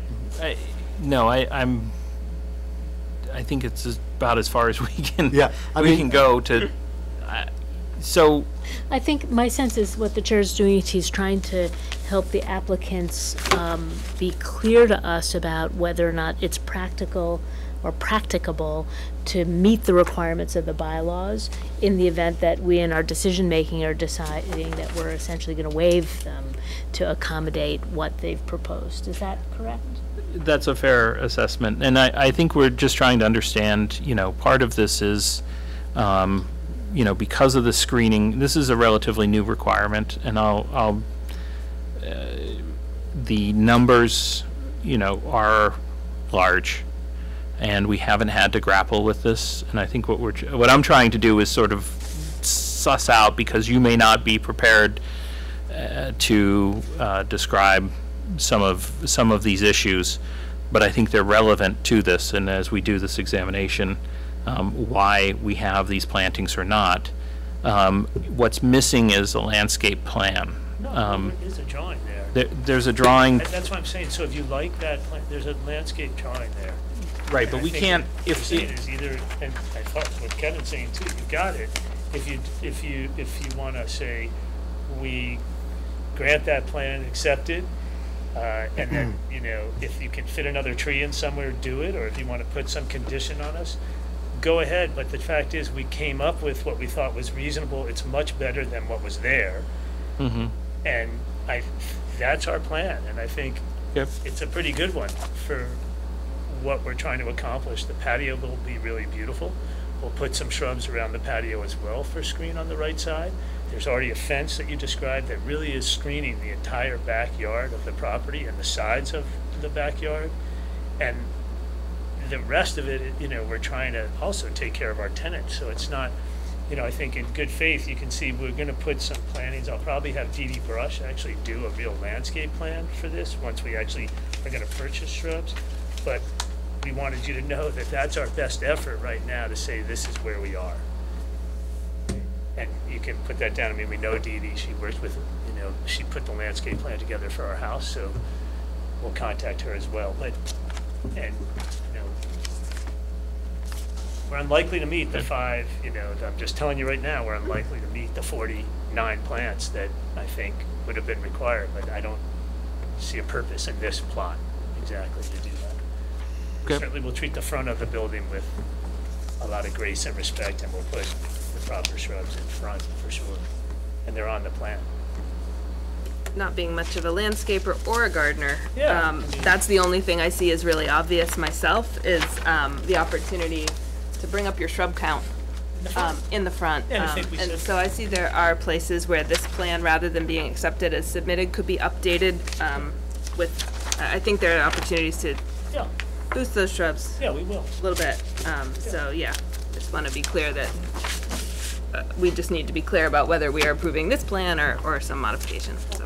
And preferably whether or not the condition is that they must meet the numbers in here or some reduced amount so that when it comes to me, I know what to do with it, please. That's and I think that's what Kevin's point is Yeah. about, is that uh, we have a little difficulty, I mean, we're, uh, in figuring out exactly what we're, what we're deciding upon as far as numbers. I mean, you've proposed seventeen shrubs or fourteen shrubs and, and if we count the lilacs as trees, um, you know, four trees, but, you know, well below the threshold and, and I'm trying to understand part, partially for the board's sake is how far, you know, and the reasons why these numbers are, are below, um, the count Yeah. as well then. But what you're saying also is that, well, if we need to add uh, a couple trees or some more shrubs in the front, you're not opposed to that. Um, Yeah, I mean, I think we said four, in my mind, we were gonna do four, either four lilacs or four larger shrubs in the front. But at the same time, Kevin's point is that, I mean, and it's a, it's a point we've made before with applicants, is that we can't really redesign. And it's, you know, unlike going to court, where the court may just simply decide and you live with the judgment, the idea here is to review the actual application, so. um, I've also heard the applicant say that he's proposed, they've proposed the two, four, six, eight, 10, 12, 14 bushes, three lilacs, and the existing maple tree. Uh, To me, given the size of the building and the size of the lot and the size of space for plantings and the existing screening from the existing fence and the fact that this is minor site plan approval for some exterior changes, a reduction in the impervious surfaces, and the addition of a, a one unit of dwelling in currently unused space, that this would satisfy me as far as the purposes of the uh, landscaping requirements of the zoning regulations. Okay. So what's the pleasure of the board? Um, At this point, I think that's the sole issue that remains. Uh, Do we want to make a motion, or do we want to take this under advisement uh, into deliberative session? I would, I would propose that we take it under, that we take the application under advisement Uh, We're dealing with uh, a number of new factors here tonight. A new board, a new uh, ordinance, and it might just make sense to uh, be able to examine that in a little bit more detail.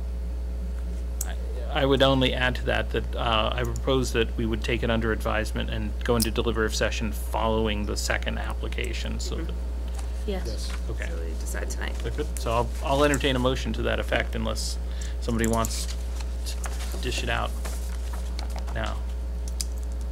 I'll make a motion to go into deliberative session to talk about the application uh, after hearing the next uh, application that's before us. Okay. So a motion to take uh, under advisement into deliberative session by, by Deb, second? Second. Second by Rob. All those in favor, please raise your right hand. We'll take this under deliberative advisement. Thank you very much. Thank you. Thank you.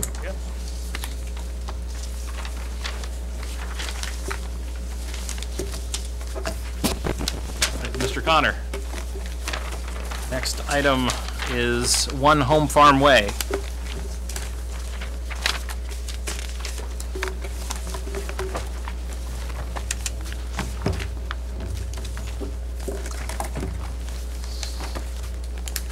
So, if you would uh, state your names for the record. Fred Connor, representing the owner. And my name is Jeff Oleski with Willis Consulting Engineers, the civil engineer for the project. Okay, raise your right hands. Do you solemnly swear or affirm that the evidence and testimony you're about to give for the matter under consideration shall be the truth, the whole truth, and nothing but the truth under pains and penalties of perjury? I do. All right. Uh, Meredith, why don't you set the table with, uh, because this has a couple of tricky procedural points in it. So this is a request to amend a site plan that was approved in 2016. Um, And the request um, first came in to me for administrative approval. Um, However, to do that, it couldn't be a material change. Um, And it also had to be a change of less than 100 square feet of the footprint. Um, And in the regulation, it just says change. It doesn't say addition, it doesn't say decrease. And so in addition to dealing with the, a change of much more than 100 square feet, um, I had also determined that it was a material change because there's a lot of cumulative changes going on here. Um, and so, I can't do this amendment to this previously approved site plan. It needs to go to the board. Um, now, because it is a previously approved site plan, even though the procedures we just evaluated this under are the current 2018 rules, when it comes to the actual substantive standards you will be applying, it's the old rules. Um, so they are, have been laid out within the staff report. Um, when it comes to your review of the dimensional requirements, all of the site plan criteria, it's all of the old rules. So that means certain things, for, for those of you who are familiar with the new rules, under the new rules, you're dealing with coverage of the entire parcel for, um, you, you consider building roofs, but you also consider sidewalks, you consider driveways, you consider parking lots. Under the old rules, all you're concerned with is the building coverage itself, not the entire lot's, you know, impermeable surface. So that's just an example of some things that might change up for you here. Um, and then the other procedural thing to remember is that when you're reviewing this requested amendment, you are not looking at the entire site plan. All you are looking at are the specific changes that have been requested. So, in the application, you're going to want to look very carefully at the site plan 1.1 versus the sheet number C2.0. On C2.0, you're going to see sort of little squiggly bubbles, clouds around the areas that have been changed on the site plan. And there are triangular number codes in the top right-hand part of the site plan that pinpoint you as to what those different items are. They've also been summarized within the staff report, um, as well as the cover letter that came from Fred that's at the beginning of the whole application package. So Fred or Jeff, do you want to just walk us through these changes that you're proposing? I'll ask Jeff to, please. Yeah, Okay. I'd be happy to. And um, I certainly appreciate the fact that there's a few board members here that were not part of this original review. So uh, I thought maybe the easiest thing to do is just give a very quick overview of what the project itself involved and what the, the original approval was. And then, um, as Meredith um, handily pointed out, we've created a proposed site plan that attempts to summarize specifically what the changes are. And, and um, really, the, the overall goal here is to um, try to amend the originally approved site plan with a smaller proposed building footprint. Um, That was the intent of it. Um, A lot of these other changes have just come about um, because we had this opportunity to get a revised site plan here. There were some existing conditions um, in the field as part of construction that we've since come across uh, that we, we just thought could be better handled from a utility connection standpoint, things of that nature. But um, not to get too far ahead of myself, what I've got here is, is this revised proposed site plan that shows the um, kind of highlighted changes, but it does kind of give a kind of good overview of what the overall project originally was. Um, for those of you familiar with One Home Farm Way, it's the old Cabot Creamery building here um, off of Route 2, just over the bridge uh, east of the Rotary. And there's an existing commercial building here, um, kind of a curb cut off of Route 2 here with a right away along the front here that goes to another property to the south. Um, and there's an existing parking lot, um, kind of on the back side of this building.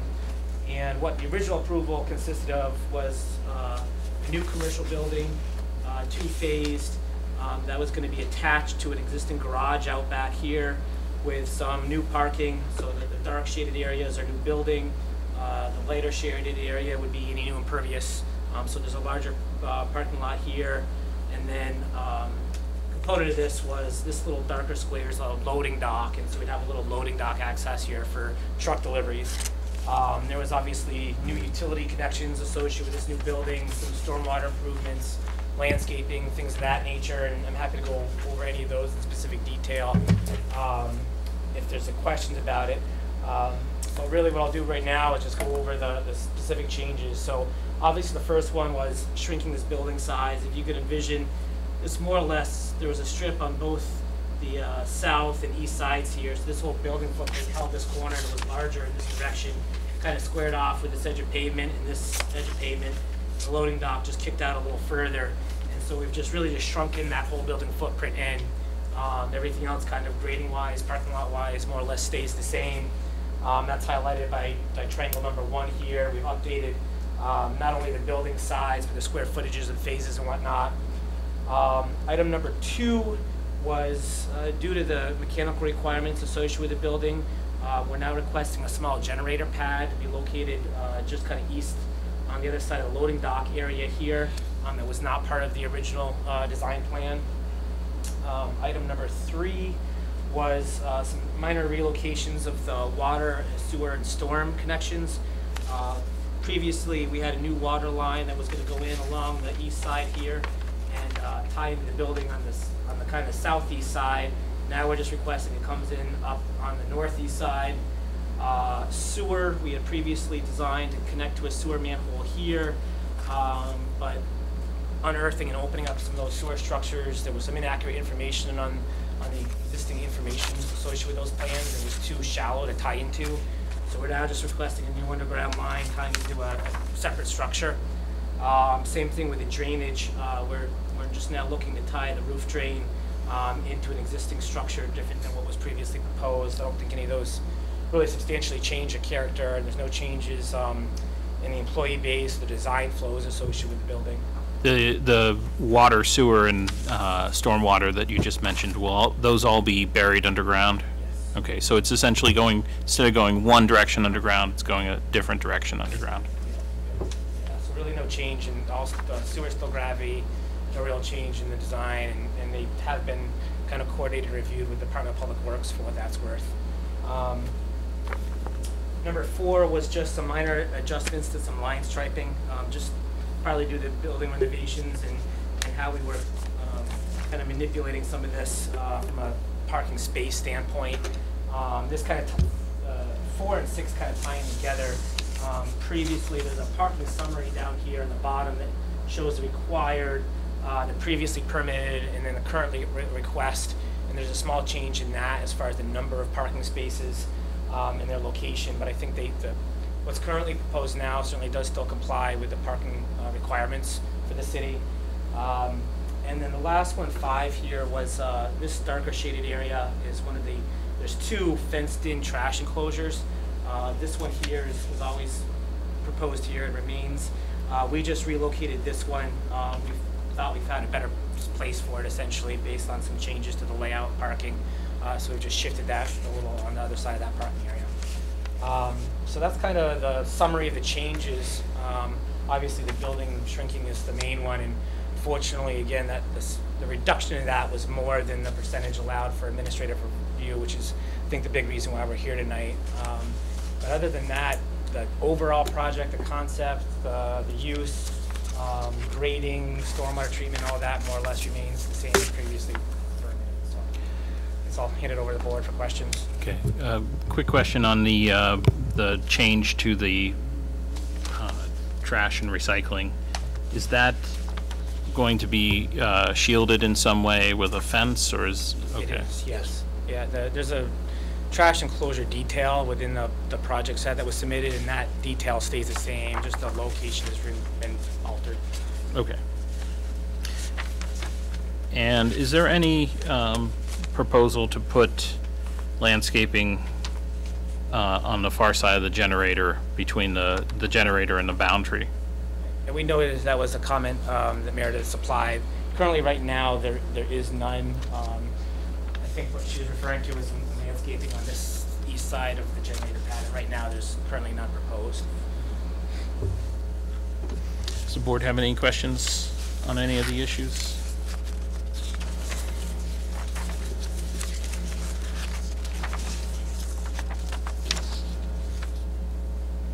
Yes, Rob, sorry. Just would say, is landscaping uh, all around like generator prohibitive to the project? I'm sorry, what's Is the it, question? li- is, would landscaping be prohibitive? Would that adversely affect your project? No, I don't think it'd, it'd be adverse. Um, there just may be a little bit of a setback. We want, we don't, obviously, there's some heat and generated with that. We'd probably want a little offset, uh, but certainly, um, if it was a condition of approval to add a, a shrub or two around that, specifically on the east side to screen it, I, I don't think there'd be a problem with that. Is that east or west side, I think? East? Is that, yeah, Yeah. it is east, sorry. East. Got my compass backwards. Um, Very ashamed. I, I did get the orienteering merit badge. Um, In your defense, the north's kind of at an angle, so it's a little, the site's a little awkward. There is no defending that, um, but I appreciate the effort. Um, So you wouldn't have an, uh, uh, opposing to some, some type of screening? I mean, I, I think we're, the, the staff suggestion is just something to screen it because there is that right-of-way right next to, um, right next to that site at the, at the boundary that goes back to the, uh, the old, that farm, the Two Rivers farm site. Um, So I'm hearing no objection to that. I would be amenable to having a condition uh, to screen I'd like it to be with either landscaping or fencing, just because I'm not sure whether we could do a better job with fencing. Um, This site sits above that other site a little bit, so. Okay. Good. All right, well, let's just go through quickly. Um, I think the, the site plan criteria, um, and I'll just go, this is our, the old way we used to do these is just go one by one. Um, and I'll just note where there's no changes proposed. The site plan criteria, um, include streets, pedestrian access and circulation, vehicular access and circulation. No changes are being proposed. Uh, The parking, it's your, it's your testimony, Jeff, that, uh, that you're reducing the handicap spaces by two? But- Yes, I believe. So there'll be a total of five handicap spaces for the entire site, and a total of, and 99 other spaces, or sorry, 104 other spaces for a total of 109. Correct, yeah. The, again, if you refer to the bottom left, the C two point zero, so required right now would be hundred and two spaces. So previously permitted was one oh six, and we're proposing one oh nine now. So we've actually added three more spaces, just based on, now that the building's shrunk up a little bit, we had a little more flexibility there, and uh, I, I think a good chunk of that was the relocation of the dumpster, we were able to get a few more spaces. Okay. No increase in impervious area either, for what that's worth.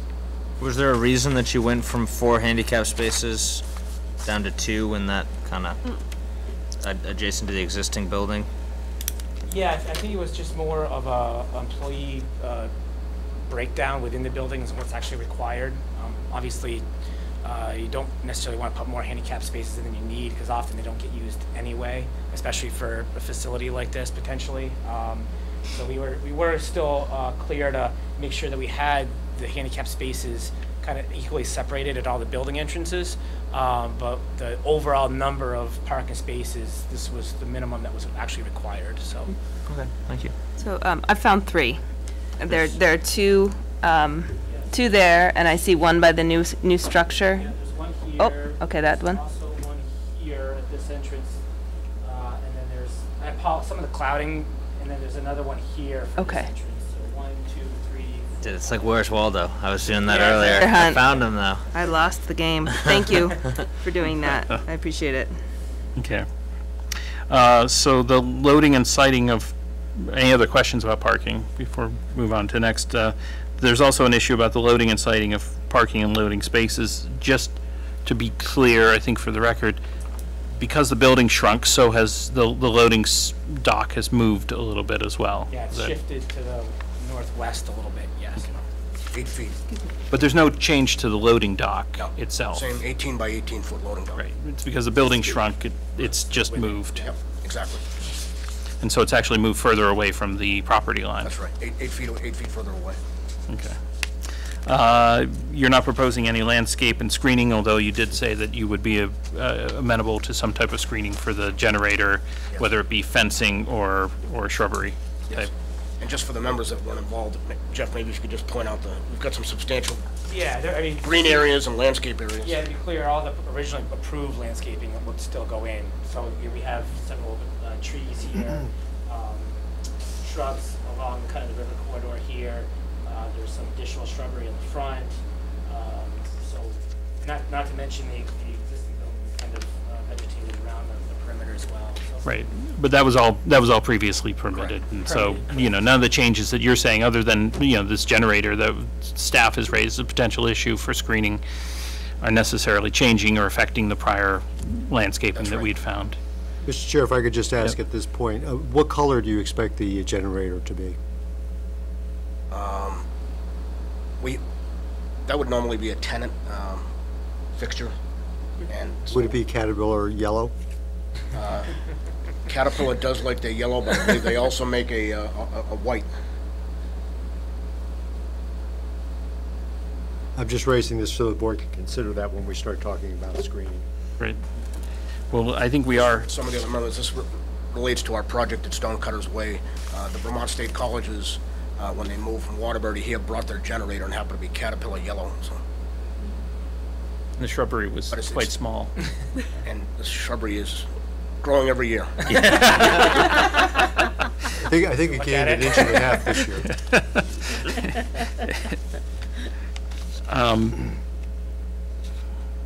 Okay, so I think we've talked about the landscape and screening. Um, Outdoor lighting, no changes proposed.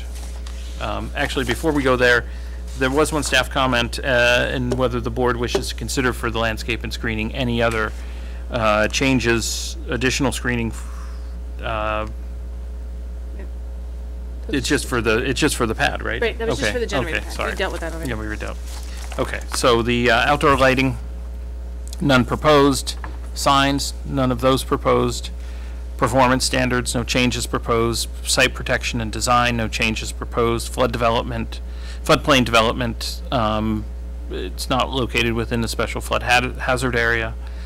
Excavation, filling, no changes proposed. Public sites and open spaces, no changes proposed. Water supply and sewage disposal, as Jeff, as you've already explained, these are essentially the same, just in different locations. And this is, if I understood your testimony, it was because the actual pipes underground are a little different than what were initially your understanding, uh, which has never happened on a project before. Never. Just no. Uh, Storm drainage, as we discussed, and it's really just for that one building that we're talking about those changes. That's correct. Okay. Utilities, no, no utilities, no new utilities are proposed. Um, You are adding the, the generator um, as a backup to utility electrical services. Um, Protection, provisions to protect the utilization of renewable energy resources, none proposed. No, this is the comment I was, I was thinking of, which is the board, the staff has suggested the board need, will need to deci- decide if further landscaping or other screening is required for the requested improvements. Um, But we're only limited to the generator pad. We're not Well- talking, there was a question, though, about whether the whole site needs, Um, be, because what we're doing at this point, this is something that had come up. So if, if I hadn't reviewed this application to the design, to, to the development review board, the only other option was for me to take this as a new application for a minor site plan amendment, in which case all the new landscaping requirements would have applied to, and under the current regulations, for me to do it, I would have had to apply it to the entire site based on the way it's currently drafted. And that seemed completely unreasonable at this point.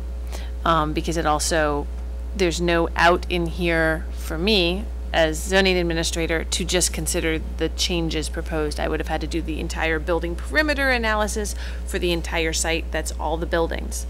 So I think that's where there might be a little confusion here. So right now, all you need to look at for landscaping is just make sure you're checking as well to make sure that there's no other landscaping that you think needs to be applied based on these changes proposed. My review was the only thing that might require new landscaping is the generator pad, but I wanted to make sure that you reviewed it as well yourselves. right? There was one question, and then it- this came up, I I noticed it in the staff report about the extension and, and completion dates, and there was a proposed condition in here that uh, this approval of the amendment would not change the expiration date of the original zoning permit. You've, you've read that, and Yes. that's all fine? That's acceptable. Okay, great, I just want to check with that to make sure it doesn't come up in a few months and you realize you're not going to be able to meet those deadlines. Can I just cl- clarify though, but no change to the extension? Correct. Correct. No change to the extension. So, what's the pleasure of the board? Any further questions, first of all? I think this is a pretty straightforward application. And I'll say, I, I don't favor any additional landscaping changes. I simply wanted to make sure that we raised it, um, and the board considered it. You know, one of the, one of the issues here is that this is a sort of mid-century, um, building and, and landscape design, which isn't intended to have multiple shrubbery that, and shrubs and, and trees that we have, you know, in, in other types of design. So, you know, I know that that was something we considered when we initially reviewed this application. So at least my sense as one member is that this is, you know, screening the generator is one thing, because I think that is, has the potential for both a visual impact as well as, you know, a noise, and anything that can lessen that impact is helpful um, on its impact to the neighbors. Um, But beyond that, this is a well landscaped and thought out site. Yeah, I, I- I would agree with that. I would add just a little, a, a slight difference in my motivation during the initial approval is it, it had as much to do with its location as function as the, um, historic nature or when the building was designed. So, Yeah, you know, I mean, it has that. the mid-century stuff doesn't get a pass. That's what I'm really saying. Okay, it's It'll be historic soon. it will. All right, what's the pleasure of the board? Uh, Do you want to take this under advisement, or is this straightforward enough that we would want to make a motion to approve with conditions as we've discussed? Um, I'll make a motion to approve the amended site plan at One Home Farm Way as presented in the application dated June seventh, twenty eighteen, and the supporting materials as discussed during this hearing, subject to the following conditions of approval. that it's clear this approval does not result in the issuance of a new permit, but merely an amendment to the site plan approved under zoning permit Z 2016-0040, and no change in the ex, the extended expiration date shall be implied from this permit, or from this, uh, approval, that all the conditions of the previous development review board approvals for that zoning permit remain in full force and effect, and with the additional condition that the uh, newly proposed generator plan be screened uh, from the property line using either shrubs or fences. Okay, motion by Ryan, I'll second. second by Uh, Kevin. I would like to make a uh, friendly uh, amendment to your, to your motion, which is that the uh, uh, screening for the generator be of adequate height and density as to provide uh, real screening. I- Effective screening. Effective screening. You Friendly accept amendment accepted. All right, we have a motion, and a second. Do we have any discussion? Hearing none. All those in favor, please raise your right hand. Have your approval. Very good. Thank you all very much. Thank Thank you very I much. should want to add uh, our appreciation to Meredith uh, and Mike Miller. Um, Jeff and I had a number of meetings with, uh, and correspondence, cor- items of correspondence with both Meredith and Mike. New into the new, new regs, and uh, just wanted to say thanks again. Yep. Nice job, Meredith and Mike. Thank you all. Thanks a lot. So let's move, uh, there's just a slight piece of other business. Um, This is the presentation and adoption of the updated rules of procedure. That was in your packet, as, and I'll let Meredith correct me. uh, We were just changing, they were interim rules that we adopted last year, um, and they were during the uh, awkward phase where we had seven members, but only five could vote because of the charter at the time. That's now been fixed, so we're getting rid of the interim rules, interim to the rules, and uh, getting rid of the provisions that talk about having only five voting members, because now by charter, we have a full seven uh, complement of members. So if there are any questions about this? I just want to be sure that we're, that we're, uh, knowing what we're approving. I have in my packet both what looks like the proposed rules, Mm-hmm. and then this is a pre, That's a, a red line to show you the changes that were but they made are of the, the, to they are the. the same, that's what I the- want to be Yes, be the, clear if you, if you take, make all these changes that are shown here, That- this is be what this. you get. Okay, thank you. Um, and so if we make these current changes, it will work. Um, whether or not we then wanted to make some additional changes to make the flow better is something to consider, and maybe it's something to push to the next meeting after everybody has a chance to fully review these, particularly the, um, oh, which was it? Sorry, I don't know which section it was. Um, the, the process, so I, if you look at the red line in section, uh, Roman numeral seven on page five, currently, the zoning administrator is supposed to do a statement of the case for every application. Um, and originally, this is, and that was to include a reading of the full public notice and all reports, um, concerning the application or the appeal. I made a change here so that it's just me doing a brief statement of the case. Because, I mean, no, but we're not gonna read everything into the, into the record. The option is also to just take that statement of the case out, because honestly, I think this is the closest I've done this hearing to a statement of the case at any of these. Um, and I don't believe that Sarah or Mike Miller, when they have stood in, remembered ever really doing one. I'm happy to do one.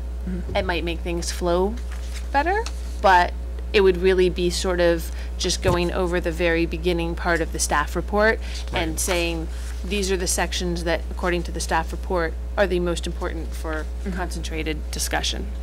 I consider that a statement of the case. Yeah. Right, and I'd like that's, to keep so it. if you would like to keep that, then I'm very happy to do it.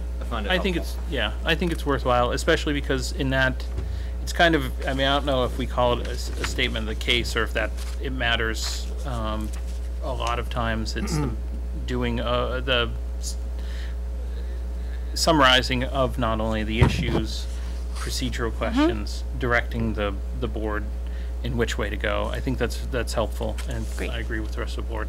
So, and just to note, uh, these red line changes um, do track to the new. Yes. And they are largely, I mean, I think the most substantive ones are getting rid of the five voting member provisions, it ups our quorum back up to the regular four uh, for, for meeting uh, requirements as well as for voting requirements. Um, So it's, it's a bit of housekeeping. I think m- my suggestion would be that if we want to do anything beyond that, that may make sense to revisit in a couple months, once we get used to doing this and once we get a flow. I have a non-substantive change, but one that I th- think matters nonetheless. Um, Page five, section seven, A three, the applicant presents Looking at that. his case along with the witness. Um, I would love to see that as his, hers, there, Whi- Which, which, Or just there, um, because, or his, hers, there. okay. Yeah, I What- think that might be more what inclusive. section, Kate? Um, page five, Yep. section seven, conduct of hearing, Oh, A three.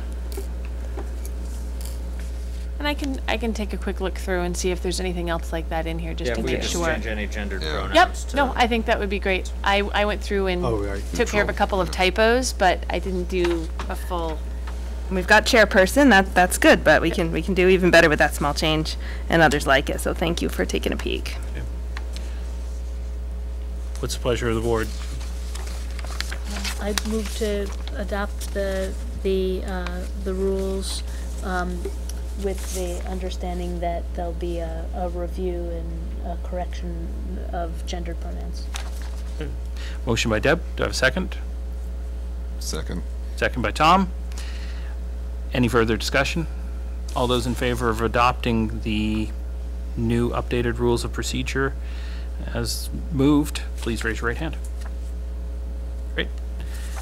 That is, so the only other business is, uh, our next regularly scheduled meeting is Monday, August 20th, 2018, 7 o'clock, same place.